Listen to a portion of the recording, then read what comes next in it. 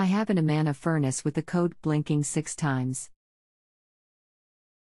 The blower runs all the time with not flame. Did you check the furnace's filters? Yes. Do you plan on doing the work yourself? If I can. I am pretty handy. Anything else we should know to help you best? We have Eno heat, so it would be good to resolve this quick.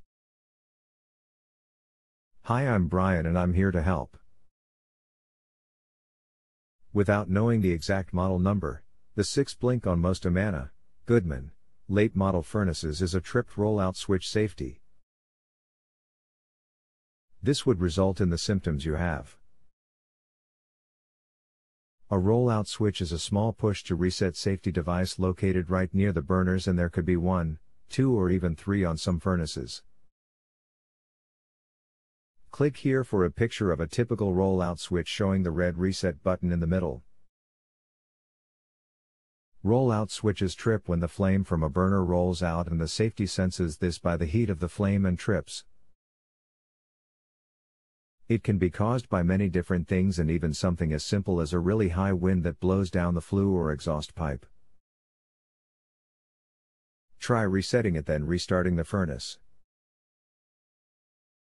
If the furnace resets but trips again, it's best to get a qualified tech out to see why the flame is rolling out. Thanks, Brian. Thanks. I was windy today. I reset the switch and we have heat now. That's good news considering the temperatures. I'm glad I could help. Let me know if you have further questions on this subject. Otherwise, please remember to rate before leaving, 3 stars or higher please. Bonuses are always appreciated.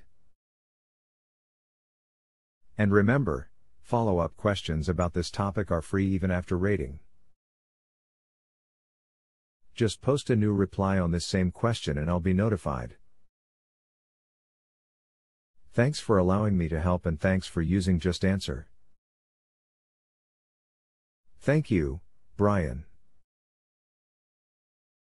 If you have a home improvement or appliance question and want to chat with an expert now visit justanswer.com/ythi.